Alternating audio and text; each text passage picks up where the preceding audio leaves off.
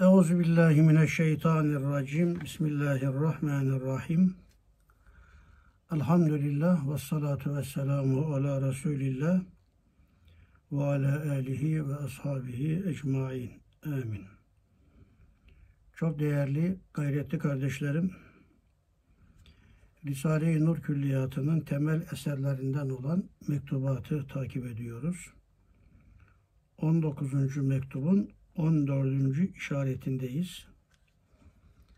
Efendimiz Aleyhisselatü Vesselam'ın duasıyla meydana gelen harikuladelikler, mucizeleri. Bu da kendi içinde burada dokuz kısım olarak anlatılmış. Kısım misal, yedinci misal başlığı mesela yedinci kısım demek. Orada kalmıştık. İnşallah oradan devam edeceğiz. Burada bu bölümde beş tane mucize var. Ve daha çok Efendimiz Aleyhisselam dönemindeki kuyularla alakalı olan mucizelerdir. Birinci misali okuduktan sonra sonra kuyular bahsine bir girmek istiyorum. Bunu çok önemsiyorum. Çünkü o zaman kuyu demek hayat demektir hem sahabenin hayatı hem Efendimiz Aleyhisselam'ın hayatı Allah'ın insanlara bahşettiği en büyük nimet su. Bunu 8. nükteli işarette yine 19. mektup içerisinde anlatmıştık. Su ile alakalı geniş bir malumat sunmuştum heyetinize. Kuyu ve kuyu suyu bağlamı içerisinde bugün daha çok kuyular üzerinde duracağız. Okuyorum 7. misal Resul-i Ekrem'in aleyhisselamın duasıyla ve temasıyla suların tatlılaşması ve güzel koku vermesinin çok hadiseleri var. Burada iki mucize nazara veriliyor. Bir suların tatlılaşması aşağıda gelecek bir kuyu ile alakalı oldu bu. Ve bir de suların güzel koku vermesi Efendimiz Aleyhisselam'ın temasıyla mesela ağzına bir yudum su alıp bir kuyuya tükürmesiyle tüfle mucizesi deniyor buna. Suyun hem tadı değişti hem de çok da bollaştı aynı zamanda. Güzel koku veren bir kuyu suyu haline geldi. Çok hadiseler var. 2-3 taneyi numune olarak beyan edeceğiz. Birincisi, başta İmamı Beyhaki ki bunu daha önce aktarmıştım heyetinize. İmam Beyhaki kimdir? Başta ehli hadis haber veriyorlar ki bir iri Kuba, bir iri, bir ir kuyu demek. Bir iri Kuba, Kuba semtinde Efendimizin ilk hicret buyurduğu zaman Medine-i Münevvere'den önce kaldığı, uzun süre kaldığı o bölge şu anda zaten Kuba Mescidi de var. Bir Kuba denilen kuyunun suyu bazen kesiliyordu. O dönemde başka su imkanı yok. Yani bitiyordu. Resul-i Ekrem Aleyhisselatü Vesselam abdest suyunu içine koyup dua ettikten sonra kesretle devam etti. Daha hiç kesilmedi. Beyhaki Delail-i Nübüvvesinde anlatıyor. Üstadın verdiği kaynak doğru. Kadi İyaz Eşşifasında İbni Kesir de bidayesinde bu hususu bize nakletmişler. Değerli kardeşlerim, Efendimiz Aleyhisselatü Vesselam döneminde Medine içinde ve yakın çevresinde Efendimiz Aleyhisselam ile de alakası olan, o mucizelere mazhar olan 25 tane kuyudan bahsederler. Kuyuların adlarını bir önce zikretmek istiyorum. Efendimiz Aleyhisselam'ın kuyusu diye de isim verilen veya Eris kuyusu diye de adlandırılan veya El Hatim kuyusu olarak da adlandırılan üç tanesi bir tek kuyu ismi. Kuba'da bu. Gittim gördüm ve hatıratını dinledim. Hatta onları kayıt altına aldım. Bu kayıtlar da biraz oradan aktarılacak. Ve Hazreti Osman Efendimizin Efendimiz Aleyhisselam'ın da o yüzük, hatem dediğimiz Hazreti Ebu Bekir onu saltanat mührü olarak kullandı. Hazreti Ömer de onu saltanat mührü olarak kullandı. Hazreti Osman'da idi ve Hazreti Osman Efendimiz o kuyudan su alırken yüzüğü kuyunun içine düşürdüğü için o mühür, hatem o kuyuda kayboldu. Onun için oraya hatem veya hatim kuyusu da demişlerdir. Ve bildiğiniz gibi böyle bir yüzüğün o kuyuda kaybolması Hazreti Osman Efendimizin şehadetini hazırlayan, sebebiyet veren çok önemli faktörlerden bir tanesi olarak zikredilir. Biraz daha üstünde duracağım. İkinci kuyu Efendimiz döneminde Gars kuyusu. Efendimiz Aleyhisselam bu kuyudan hem içmiş hem abdest almış ve çok daha önemli bir şey Efendimiz Aleyhisselatü Vesselam'ın pak olan vücudu Hazreti Ali Efendimizin bu kuyudan getirdiği sularla gasledilmiş olması ki Efendimiz daha önce böyle bir işaret vermese Hazreti Ali Efendimiz o kuyudan öyle bir su getirerek Efendimiz Aleyhisselam'ın pak olan vücudunu gasletmezdi. Gars kuyusu. Belki bununla alakalı da az daha açılım sunacağım. Üçüncü kuyu Rume veya Hazreti Osman kuyusu. Bunun geniş bir açılımı var. Bir Yahudinin de bu Hazreti Osman Efendimiz satın aldı ve Müslümanlara onların hizmetlerine beleş olarak bağışladı. Onun için Rume veya Hazreti Osman kuyusu olarak e, tarihlere geçmiştir. Dördüncü kuyu Bidaet kuyusu. Ebu Said el-Hudri'den bu mevzuda rivayetler var. Belki üstünde biraz durabileceğiz. Beşincisi Be'set veya Bu'set kuyusu. Altıncısı Ha kuyusu.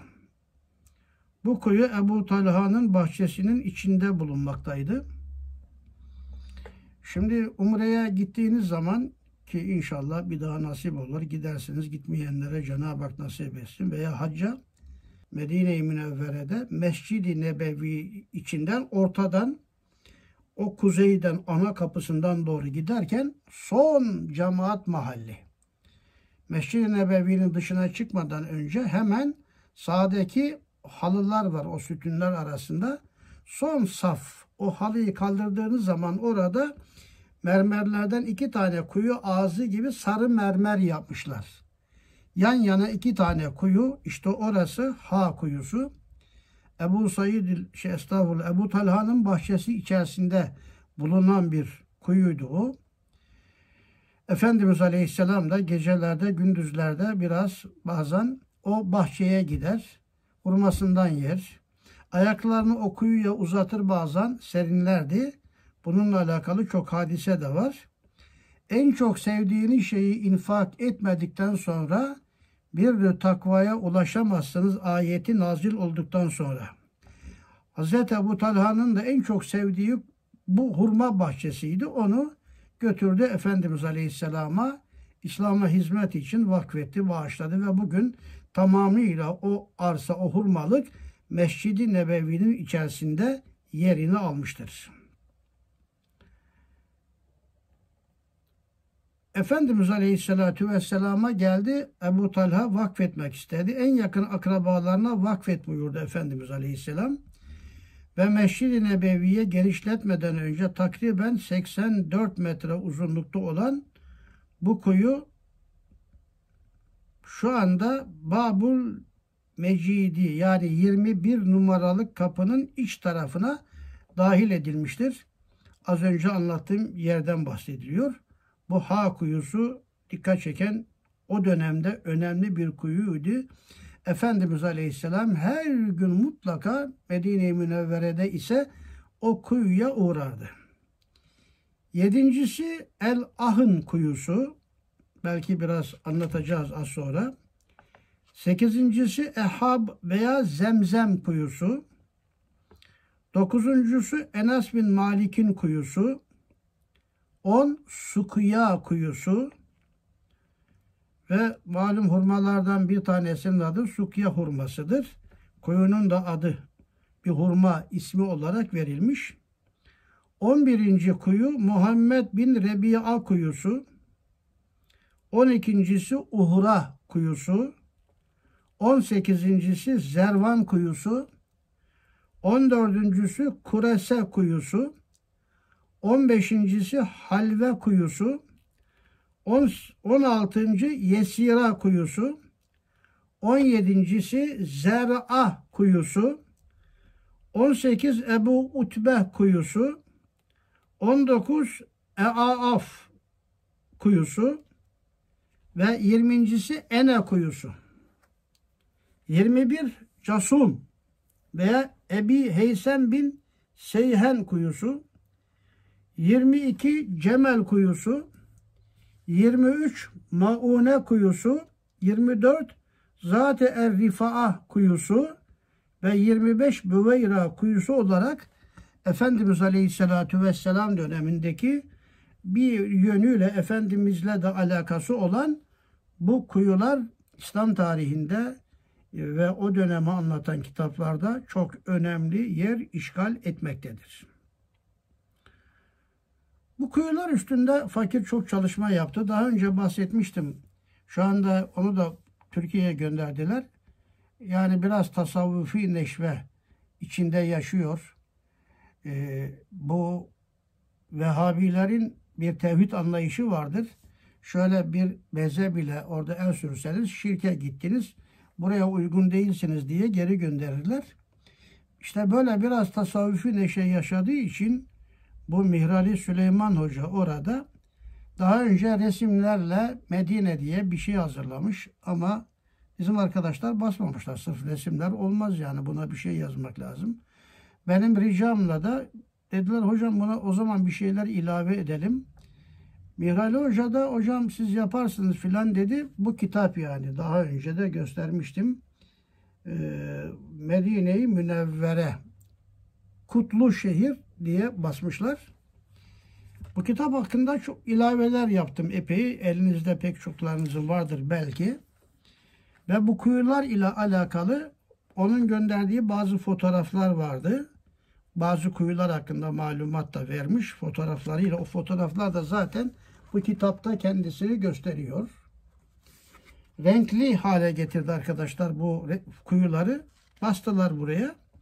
Fakat ben bütün kuyuların altlarını kaynaklardan çıkartarak ve sonra o mevzuda bir kısım malumatlar da derleyip buraya kaydederek işte bu ortaya çıktı.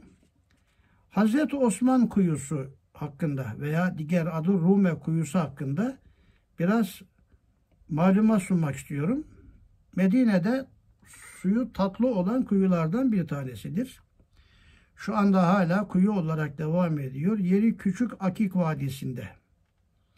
Mescidül Kıbletey'nin kuzey tarafında yer alır. Burası Cüruf ile Ruana arasında Hendek kazası esnasında müşrikler burada konaklamışlar. Bu kuyudan su almışlar. Kuyu bir ara harap olmuş. Mekke kadısı İbni Muhib Et-Taberi 750 senesinde burasını yeniden inşa ettirmiş.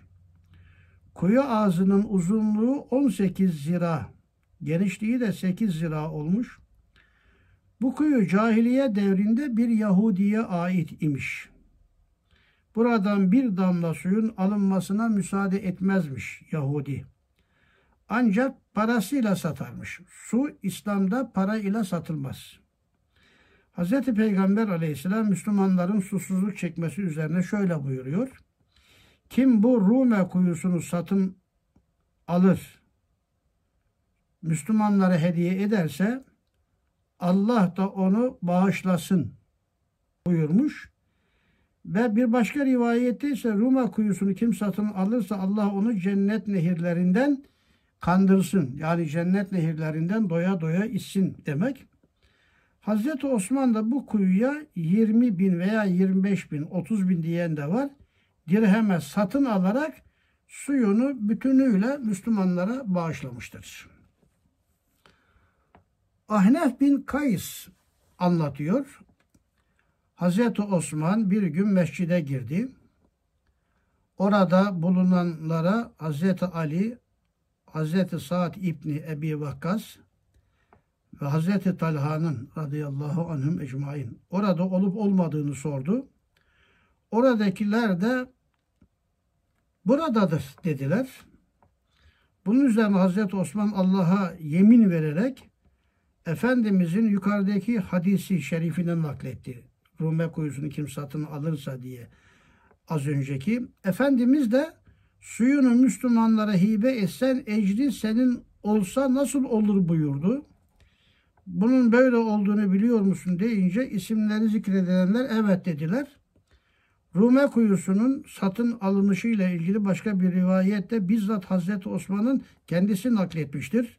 Uzunca bir rivayet var. Ve şu anda o kuyu Ziraat Bakanlığı'na aitmiş orada. Onun tasarrufu altındaymış. Burada resmi de var. Ruma kuyusunu Müzeyne kabilesinden birisi kazmış. Daha sonra Rumet el-Gıfari'ye satmış. Onun böyle bir uzun tercümesi de var. Tarihçesi de var bu kuyunun. Hala devam eden kuyulardan bir tanesi. Diğer ismini saydığım kuyu Gars kuyusu. Aslında çevresindeki bahçenin ismini alan bu kuyu hadislerde de geçmektedir. İçime hoş bir su vardır. Medine'nin diğer kuyuları gibi yazıları da yazları da Medine'nin diğer kuyuları gibi yazları da kuyunun suyu azalmaktadır bunun da. Hazreti Ali'den gelen bir rivayet var. Efendimiz Aleyhisselam bu kuyunun suyuyla yıkanmasını vasiyet etmiş. Az önce vasiyeti var galiba diye işareten söylemiştim. Efendimiz Hazreti Ali'ye daha önce vasiyet etmiş. Ben vefat edince Gars kuyusunun suyundan getirin demiş. Vasiyeti üzere bu kuyudan alınan yedi kırba su ile Efendimiz Aleyhisselam gasledilmiştir. Bu kuyu suyu ile yıkanmanın niçin vasiyet edildiğini bilemiyoruz. Ancak belki de kendine ilk bağrını açan yer Kuba olduğu için ve bu kuyu da Kuba'da bulunduğundan bir vefa borcu olarak. Çünkü Efendimiz Aleyhisselam Kuba'da 10 küsur gün kaldığında hep bu kuyudan su içti. Belki o dönemde uzun bir yolculuktan sonra suya daha çok ihtiyacı olur insanın. O kuyunun suyuna karşı Efendimiz Aleyhisselam'ın böyle bir vefası, bu acayip bir şeydir yani. Vefa buraya kadar Efendimiz tarafından temsil edilmiştir. Ve bu kuyu Kuba'da yer alıyor. Saat bin Heyseme'ye ait tam olarak yeri Kuba Mescidi'nin sağ tarafında uzunluğundan ve faziletlerinden de bahsedilmiş. Ve ondan geçiyorum. Urve kuyusu var. Urve kuyusu Urve bin Zübeyir'e ait. Şifalı suyu olan kuyu şu anda da harabe halde e, devam ediyor. Abbasiler ve Osmanlılar döneminde de e, bu adet devam etmiş. Yani mübarek kuyuların suyu en güzel hediye olarak bu kuyunun suyu ümeralara içiriliyormuş. Medine'ye gelen devlet başkanları, emirlere bu kuyudan su takdim ediliyormuş. Abbasiler döneminde de böyle yapılmış. Osmanlılar döneminde de böyle yapılmış. Ve sebze haline yakın şu anda Medine-i Münevvere'de. Diğer bir kuyu Bussa veya Bussa kuyusu. Ebu Said el-Hudri'nin rivayetine göre Efendimiz bu kuyunun suyundan başını yıkamada kullanmıştır. İbn-i Neccar'ın nakline göre bu kuyu Baki Karka'da yakın bir mahallede Kuba tarafında bulunmaktadır. Kuyunun genişliği 7 zira, uzunluğu 11 zira. Zaman içinde kuyu ağzı gelen sellerle tahrip olduysa da yeniden imar edilmiştir. Burada onun resmi de var. Ve bir de Ha kuyusu. Mescid-i Nebevi'nin karşısına düşen bir kuyudur. Medine'nin hurmalığı en bol olan, en bol insanı olan sahibi Ebu Talha'ya ait bir bahçe içinde yer alan bu kuyunun suyu güzeldir. Efendimiz Aleyhisselatü Vesselam gelir hem hurmalıklardan yer hem de suyundan içerdi. Orada iki tane kuyu var demiştim. İşte onlardan bir tanesi bu. Evet, Alimran suresi 92. ayette geçen Len tenalul birra hatta tunfiku mimme tuhibbun ayetinden sonra bahçe ile beraber bu kuyu suyu da e, ümmete hibe edilmiştir. Onun da burada resmi var. Bu kuyuya kuyusuna Beriha kuyusu diyenler var. Beyrehi kuyusu diyenler var. Ve o zaman onun etrafına bir mescit de yapılmış. Evet. Medine-i Münevvere'de tanıdığım çok ziyaretine gittiğim e, evladı Resul'den bir Şeyh Muhammed Zekeriya Efendi Hazretleri vardı. O da hep bu kuyunun suyundan içermiş ve bu kuyuyu o da çok fazla met etmiş. Burada resimleri var. Kuyulardan bir tanesi de Eris kuyusu. Az önce buna dikkat çektim. Hatem kuyusu da deniliyor. O kuyu Kuba'nın mescidinin kıble tarafının batısında. E, orada şimdi ağaçlıklar var. Onun dibinde kuyuydu orası. Kuyu görünmüyor artık ama çimlerin içinde kalmış. Çünkü Vehhabiler de böyle kuyuları bırakayım da hatıra kalsın. insanlar Efendimiz dönemini hatırlasın. Gelsin millet kuyunun başında otursun, konuşsun vesaire. Bunu şirk kabul ettikleri için olabildiğince bunları gizlemişlerdir. Ve şu anda asfaltın içinde kalmış. O kuyu daha sonra asfalt genişletilince Kuba Mescidi'nin kıble tarafındaki, Efendimiz dönemindeki mescidin batı tarafında belki böyle bir 50-60 metre batı tarafına doğru kıbleye göre sağ tarafına doğru bir kuyu burası. Ve Hazreti Ebu Bekir Efendimizin yüzüğünü içine düşürüp kaybettiği bir kuyudur burası.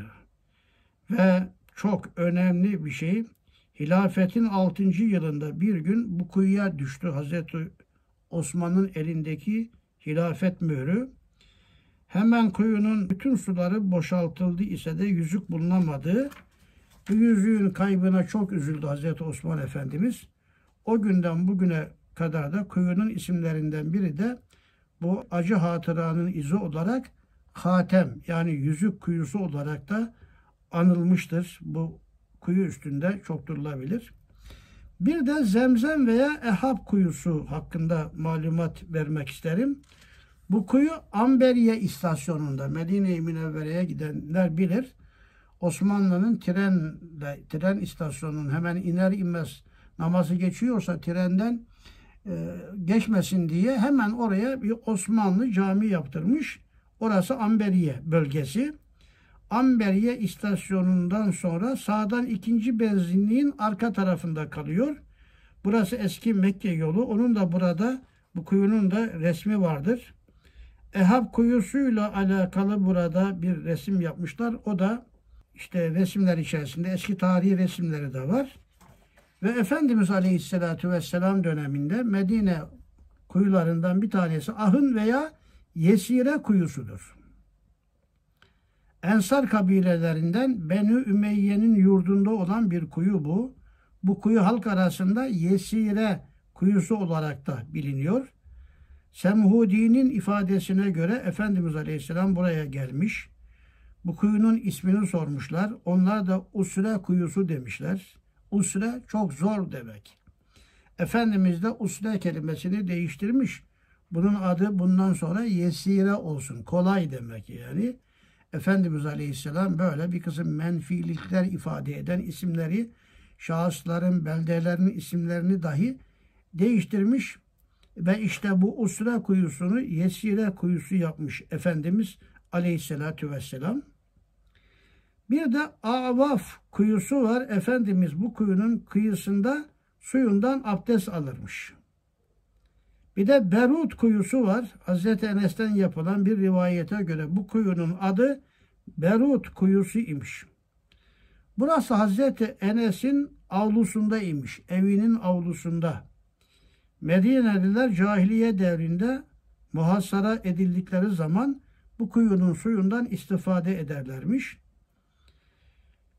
Hazreti Enes'ten nakledilen bir başka rivayete göre Efendimiz bu kuyudan abdest almış ve onun suyundan içmiştir. Bunun da resimleri var burada oldukça geniş. Buda'a kuyusu var. Hazreç kabilesi oymaklarından Beni Saide yurdunda olan suyu şifalı ve gayet sade keressiz demek yani bir kuyu olduğu söyleniyor. Hadislerde bu kuyunun ismi geçmektedir. Evet. Bir keresinde Efendimiz'e aleyhisselam Ya Resulallah bu dağ kuyusuna ölü hayvanlar bazı bez parçaları atılıyor. Biz de kuyunun suyunu kullanıyoruz. Kullanabilir miyiz diye Efendimiz Aleyhisselam'a sormuşlar. Efendimiz de su temizdir. Efsafından biri değişmediği sürece hiçbir şey onu kirletemez buyurdular. Sehl İbni Sa'd Hazretleri de Efendimiz'e bu dağ kuyusunun suyundan verdim o da içti diyerek bununla alakalı güzel bir hadis nakletmektedir. Kuyulardan bir tanesi de Sukuya kuyusu.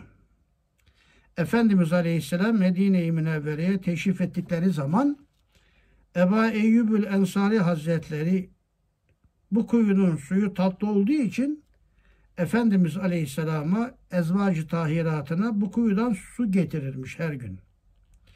Bilahare Hazreti Enes Efendimiz'e hizmet ettiği dönemlerde suyu getirme işini ona devretmişler. O da Efendimiz Aleyhisselam'ın hayatının sonuna kadar hep Sukiya kuyusundan su getirerek Efendimiz Aleyhisselatü Vesselam'ın su hizmetlerini görmüş ve bu yukarıda hakkında tafsilat verdiğimiz Gars kuyusunun suyundan sağlanırmış. Hazreti Ayşe validemizin bu mevzuda bize naklettiği hususlar var ve bunun da burada resimleri var. Olabildiğince Efendimiz Aleyhisselam dönemindeki şeyleri bu şekilde muhafaza etmeye çalışmışlardır. Evet kendimi zorlayarak biraz bu kuyular hakkında heyetinize malumat verdim. Tabi su hizmetleri çok önemlidir. Mekke'de su problemi olmamıştır. Çünkü Cenab-ı Hak kendisinin davet ettiği ve kendisinin misafirleri olan çünkü Cidde'den çıktınız mı böyle Mekke-i Mükerreme'ye doğru giderken yolun sağlarında levhalar vardır. Rahman'ın misafirleri hoş geldiniz yazar. Allah gelecek kendi misafirleri için özel su orada zemzem Zemzem'in tarihçesinden şu anda bahsetmeyeceğim. Ayrı bir sohbet halinde genişçe anlatılabilir. Nitekim Mesnevi Nuriye dersleri içerisinden bir tanesinde ıı, Kabe, Hacel Esved, Arafat, Müzdelife, Mina, Zemzem'le alakalı 6-7 serilik bir sohbet var. Orada Zemzem'i genişçe anlatmıştım. Çünkü çok önemli o bölgede susuz kalmak çok kötü.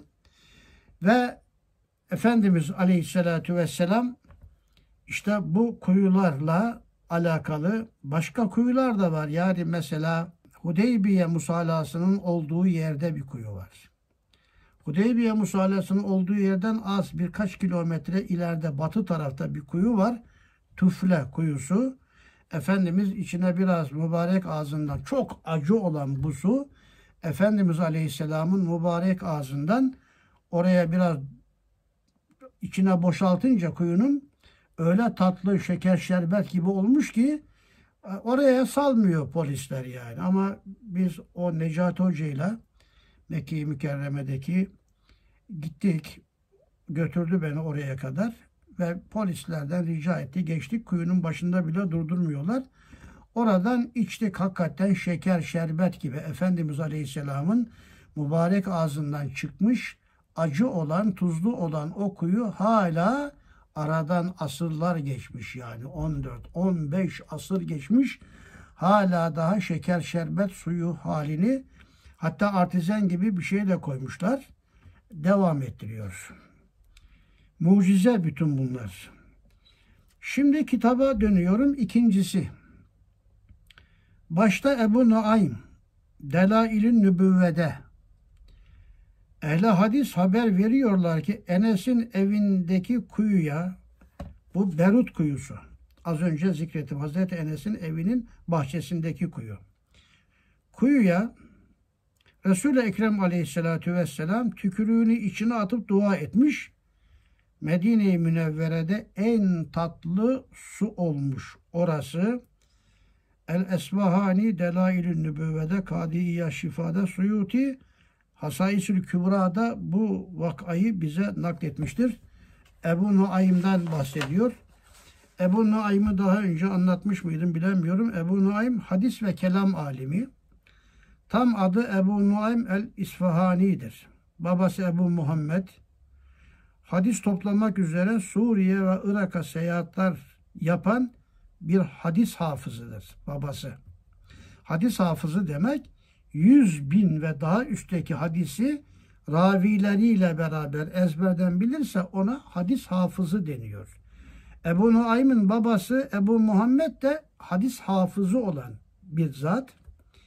Devrin en önemli ilim merkezlerinden İsfahan'da yaşayan Ebu Nuaym 8 yaşından itibaren meşhur alimlerden dersler almaya başladı. Hadis, kelam, tasavvuf ve tarih sahasında iyi bir alim olarak yetişti. Uzun ömrü boyunca birçok hadis topladı.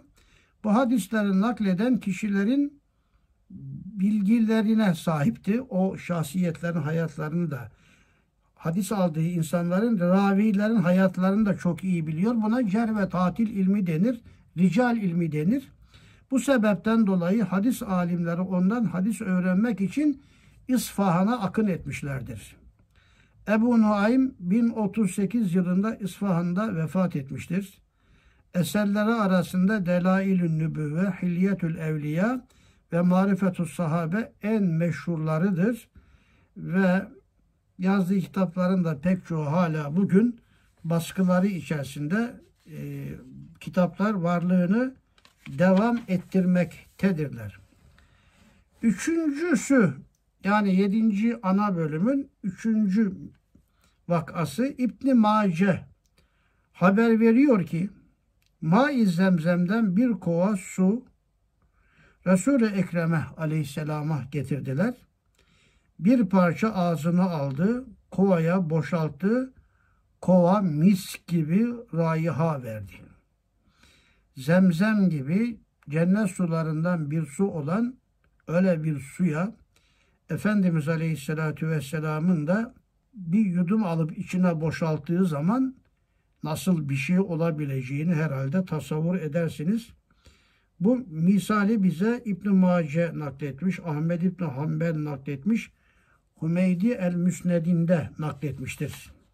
İbn Mace ile alakalı da kısa bir bilgi arz etmek istiyorum. Asıl adı Ebu Abdillah, Muhammed İbni Yezid Abdillah İbn Mace el-Kazvini'dir. 834 yılında dünyaya gelmiş.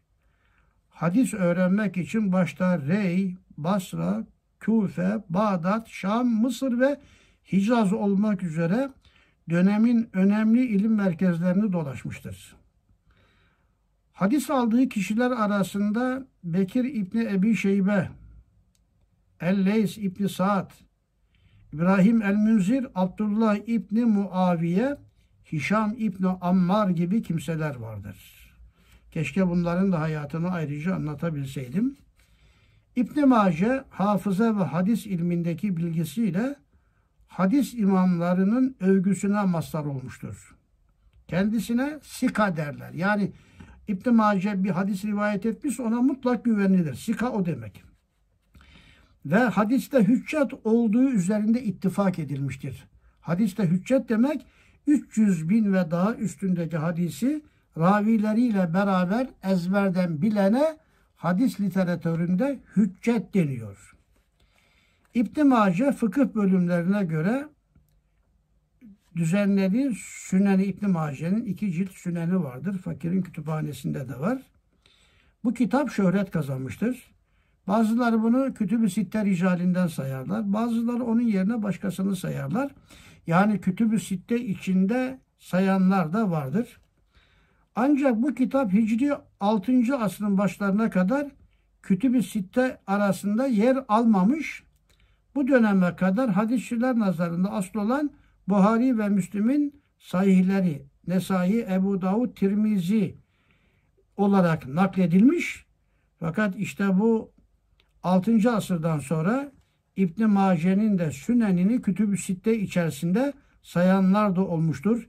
Zehebi'ye göre Sünen 32 kitap ve 1500 babtan bölümden oluşmuş ve içerisinde 4000 tane hadis vardır ve sahih hadistir bunlar demişlerdir. Özellikle bunu kim söylemiş? İmam-ı Zehebi söylemiştir. Dördüncü misale geçiyorum.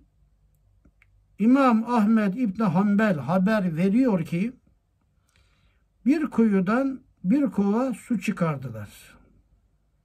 Resul Ekrem Aleyhisselam içine ağzının suyunu akıtıp kuyuya boşalttıktan sonra mis gibi raiha vermeye başladı. Buna az önce aktarmıştım. Buna tufle kuyusu deniyor. Çok önemli. Tufle kuyusu hakkında da az önce malumat vermiştim. Ahmet İbni Hanbel bu hadisi şerifi bize nakletmiş. Aslında şöyle bakıyorum kaynağı Ahmet İbni Hanbel de nakletmiş. Tabarani El Mucemül Kebir'inde de bu vakayı bize nakletmiş. Ahmet İbni Hanbel hakkında daha önce malumat sunduğum için ondan geçiyorum. Beşincisi,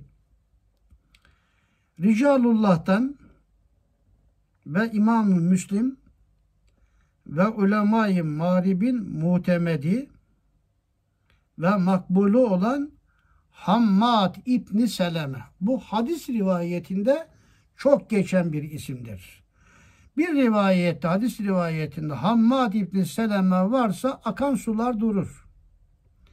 Rical ilminde cer ve tatil olarak bütün hadis ricali kritize edilmiştir. Buna cerh deniyor. Ve içlerinde bir tane meçhul şahıs olsa, münker birisi olsa veya hadis e, tabiriyle kezzap birisi olsa o hadis çöpe atılır. Artık onunla kimse amel etmez. Ondan hüküm istinbat etmez. Din bu çok sağlam kaynaklarla günümüze kadar gelmiştir. Onun için Hammad İbni Seleme Üstad buna Ricalullah'tan diyor. Bir Allah adamı yani bu Ebdal'dan, Evliya'dan öyle bir adam. İmam-ı Müslim de bunu teskiye etmiş. Çok önemli, makbul bir insan. Zaten Müslim'in rivayetlerinde, senetlerinde Hammad İbni Seleme çok geçer. Hammad İbni Seleme haber veriyor ki Resul-i Ekrem Aleyhisselam deriden bir tuluğa su doldurup ağzına üflemiş. Tulumun ağzına üflemiş yani. Dua etmiş. Bağladı ağzını tulumun bir kısım sahabeye verdi. Ağzını açmayınız. Yalnız abdest aldığınız vakit açınız demiş. Gitmişler abdest almak vaktinde ağzını açmışlar görüyorlar ki halis bir süt ağzında da kaymak yağ var. Yani Efendimiz Aleyhisselam'ın öyle bir su tulumuna su doldurup sonra üflemesi içine sahabe-i kiram o günlerde belki bu gıdaya ihtiyaçları vardı ve halis sütle ağzında da süt kaymağı böyle baya kalın süt kaymağı olduğunu sahabe-i kiram görmüş. Bunu Kadiye şifasından naklediyor. Ali Yülkari Şerh-i Şifa'da naklediyor. El-Hafaci de Nesimür Riyad'da nakletmiştir. Hammad İbni Seleme ile alakalı biraz malumat sunmak istiyorum. 709 yılında doğdu. İpekçi ve kumaşçı lakaplarıyla anılmıştır. Kaynaklarda başörtüsü ticareti yaptığı zikredilir. Demek ki bayanların başını örttüğü ve erkekler de Suudi Arabistan'da örtü koyuyor. Başörtüsü ticareti yapmış. Yani ben ilim tahsil ediyorum, dini anlatıyorum. Öyleyse birileri de benim ihtiyaçlarımı görsün dememiş. Eski ulema böyle yapmamıştır. Yani kendi el emeğiyle yaşamış. Hazreti Davut Aleyhisselam gibi ticaret yapmışlar. İmam-ı Azam da öyledir. Hammad İbni Seleme de böyle. Hammad tahsil hayatında pek çok tabiinden faydalanmıştır. Tabi, bu etbaü tabiinden. Tabiine tabi olanlara denir. Bazı kaynaklarda Basra müftüsü diye nitelendirildiği de olmuştur Hammad bin Selebe için. Nahiv ve fıkıh tahsiline önem vermiş. Ayrıca devrin vaizlerinden ve irşatçılarından vaaz ve irşat hizmetleri yapmış. İbadete, hayır yapmaya ve Kur'an okumaya düşkün, sünnete bağlılığı, bid'atçılara muhalefeti ve düzenli hayat yaşaması ile tanınır.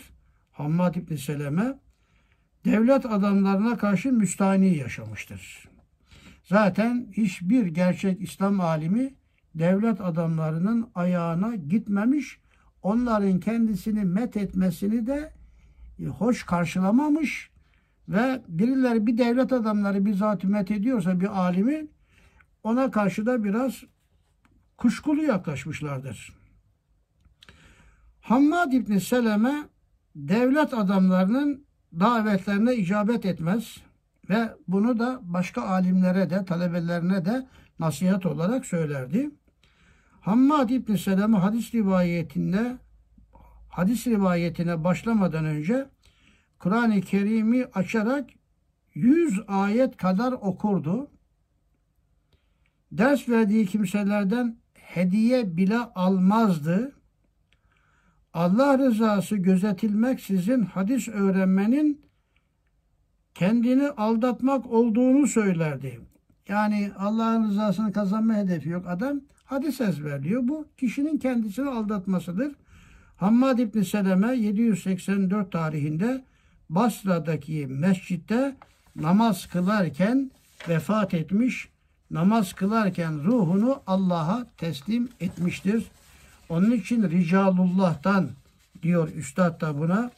Gerçekten Üstad da ricali çok iyi tanıyor demektir. İşte bu beş cüz'ü bazıları meşhur yukarıda anlattığı beş misal, yedinci misalin yedinci kısmının içinde anlatılan beş misalden bazıları meşhur hadis ölçüleri içinde meşhur yani bize göre değil. Bazı da mühim imamlar naklediyorlar. Bunlar ve burada nakledilmeyenlerle mecmuu daha bunun gibi çok hadise var. Bunların toplamı manevi tevatür gibi bir mucizeyi mutlakanın tahakkukunu gösteriyor demişlerdir. Evet, bugün bu yedinci misali de bitirmiş olduk. Aslında sekizinci misali de bitirmek istiyordum. Neyse ki hızlıca burasında bitireyim. Sekizinci misal yani 14. işaretin 8. kısmı demek bu. Bunun da kendi içinde 3 tane mucizesi var, vakası var. Resul-i Ekrem aleyhissalatu vesselam mes, mes eliyle dokunma demek ve duasıyla sütsüz ve kısır keçilerin mübarek elinin temasıyla mes o demek ve duasıyla sütlü hem çok sütlü olmaları misalleri ve cüz'iyatları çoktur. Biz yalnız meşhur ve kat'i 2-3 misal numune olarak zikredeceğiz. Her sahadan Üstad genelde üçer tane misal vermiştir. Burada şöyle bir şey aktarmak istiyorum. Tarihi bir, bir birikim, bir hatıra içinde. Hoca Efendi bir baştan bir sona kadar Efendimiz Aleyhisselam'ın nübüvvetini iki defa anlattı. Parça parça anlattığı Edremit döneminde de var. Ancak Manisa'da başlayıp Bornova'ya tayininden sonra da devam ettiği Efendimizin nübüvvetiyle alakalı 30 küsur tane, zihnim yanıltmıyorsa 33 tane Hoca Efendi'nin vaaz serisi vardır. Orada üçer misalle Efendimizin mucizelerinde anlat Hoca Efendi. Bir bantta mesela 10 tane farklı bölüm, nevden ama üçer tane misalle gitti. O bantları da bulabilirseniz, o, o zaman bant diyorduk şimdi artık kayıttan neredeyse. Çok önemli, farklı açılardan meseleye yaklaşıyor. Buradaki misaller de var orada. Burada olmayıp da Hoca Efendi'nin farklı kaynaklardan sundukları da var. O 76'lı yıllardaki nübüvvet vaazlarını bulabilirseniz mutlaka dinleyiniz. Hutbeleriyle beraber de olunca farklı bir atmosfere yükseliyorsunuz. Bir de bu Sonsuz Nur olarak kitaplaştırılan İstanbul'da Üsküdar'daki Valide-i Cedid Camisi'nde yaptığı 50 küsur vaaz. Orada bu mucizeler bahsi yok. Niye yapmadı? Bir gittim de ben bunu bizzat kendim sordum. Yani dedim hocam Bornova'da yaptığınız vaazlarda, nübüvvet vaazlarında mucizat bahsine yer verdiniz. Ama bu sonsuz nurda yok dedim onlar. Yani o zaman anlatılmamış olsa bile eski sohbetlerden buraya adepte edilerek kitabın öyle basılmasında bir mahsur var mıydı acaba diye sordum. Kendim sordum bizzat. Dedi ki ben hiç onu düşünmemişim dedi. Fark da etmedim dedi. Yani bunu arkadaşlarımızla bir söyleyelim filan dedi. Acaba ben de şöyle düşündüm. Yani böyle mucizeye karşı gelen bir kısım ilahiyatçılar var. Vehhabi kafalar da var. Türkiye'de ilahiyatçılardan çok var. İsimlerini şu anda söylemem bir şey ifade etmez. Acaba onlar bu kitabı okusunlar ama mucize bahsini görünce soğuk bakarlar. Veya Arap dünyasından bazıları soğuk bakarlar. Böyle bir hikmete binaen mi acaba bu sohbetler oraya konmadı diye düşündüğümü de ifade ettim. Yok öyle bir şeyimiz yoktu dedi yani. Keşke konabilseydi diyerek kendi şeyinde ifade etti. Düşüncesini de ifade etti. Evet oldukça önemli bunlar. Çünkü Üstad Hazretlerinin bunları görünce böyle hele raviler, raviler hakkındaki bazı senalarını Üstad Hazretlerinde rical ilminin çok mükemmel olduğunu görüyoruz. Hoca Efendi'nin rical ilmi zaten şu anda İslam dünyasında Hoca Efendi ile bu mevzuda boy ölçüşecek bir başka birisi olabildiğini tahmin etmiyorum. Çünkü kitapları anlattıklarıyla İslam dünyasındaki tanıdığımız kadarıyla İslam ulemasının bu kadar bir rical ilmi olmadığını görüyoruz. Biz Ebu Davud'un sünneni, sünneni Ebu Davud'u e, Azbül Mevrut şerhi ile okumuştuk Hoca Efendi'den. Ve Hoca Efendi her hadisin başında 3, 4 bazen 5 tane ravi vardır. Her defasında onu tekrar etmiş o kitapta. Kimden hadis aldı, kime hadis verdi, bunun hakkında başkaları ne dedi? Cer ve tatil açısından hocaları kim, talebeleri kim? Onlar önce aynı isim her hadiste geçiyorsa hep tek, tekrar etmişler yani. Öyle bir şey. Hoca Efendi kitaba bakmadan söylerdi onlar artık. O kadar ezberlemiş ki. Kendisine sormuştum kaç bin veya kaç kişi ricalin hayatını biliyorsunuz hocam diye. Sahabi dahil olmak üzere 50 bin tane hadis ricalini babamın oğlu gibi sayarım anlatırım demişti o zaman. 78-79 senesinden bahsediyorum. Yani kaç sene olmuş bir hesap edebilirsiniz. Yani üstad bunları böyle ceffel kalem anlatmamış. Böyle bazı ilahiyatçılar da mucizeyi kökten inkar ederek bazı, hadisleri kökten veya hadis mantığını kökten inkar ederek böyle bir şey olamaz. Ee, ve bunun derinliğine varmak lazım. Bütün bunlar Efendimiz Aleyhisselatü Vesselam'ın peygamber olduğunu, Allah'ın Resulü olduğunu gösteriyor ki bunlar da gerçekten e, bizim imanımızı artırıyor. Fesadaka Resulullah demeye mecbur kalıyoruz. Efendimiz Aleyhisselam vellezî câe bis sıdkı ve saddaka bi ülâike sadikun sıdk ile gelmiş, hep sıdkı temsil etmiş, sıdkın arkasından koşmuş.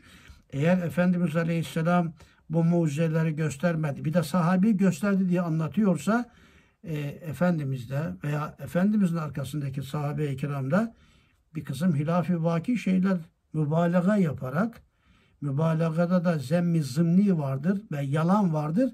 Mübalağa yaparak Efendimiz Aleyhisselatü Vesselam'ı e, böyle küçültme haşa yoluna gidiyorlar manasına gelir. Neyse ki bu 8. misalden mes ve duasıyla süssüz keçilerin meselesiyle alakalı Üç tane misal vardı ama hemen şimdi okursam böyle kısacık olacak. Bunu da Cenab-ı Hak imkan bahşederse gelecek hafta okuyalım. Belki gelecek hafta 8. misal ve 9. misali de okuruz. 9. misalde de 9. kısım demek 6 tane mucize naklediliyor. Yani 6 9 tane misalimiz kalmış. Vak'a anlatımı kalmış. Ondan sonra iki hafta olur bunlar. Zaten daha sonra da Ramazan-ı Şerif geliyor. Ramazan-ı Şerif'te herhalde sizlerle sohbet yapamam.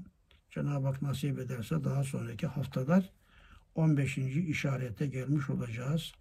Hayvanat taifesi, ölüler taifesi, cinler taifesi, melaikeler taifesi olarak dört şube halinde orası gelecek. Yani süratlice okur geçeriz ama siz de zaten okuyorsunuz. Biraz daha meseleyi künhünden, biraz daha izahlı misalleri ve ravileri de bilerek gidecek olursak daha faydalı olduğunu düşündüm. Ve böyle yavaş yavaş gittik ve bu noktaya kadar geldik. Heyetinize teşekkür ederim. Allah'a emanet ederim. Cenab-ı Hak gerçekten istifadeye, istifazeye muvaffak kılsın. Bütün bu bilgilerin arkasında Efendimiz Aleyhisselam'ın peygamberliğine karşı daha güçlü bir iman ve o Allah tarafından gönderilmiştir. Ve böylece onun arkasından gitmek, anlattıklarına dikkat etmek, sünnet-i seniyyesine riayet etme, bütün bunlar bizi inşallah o noktaya ulaştıracaktır. Ali heyetinize teşekkürlerimi sunuyor ve Allah'a emanet ediyorum.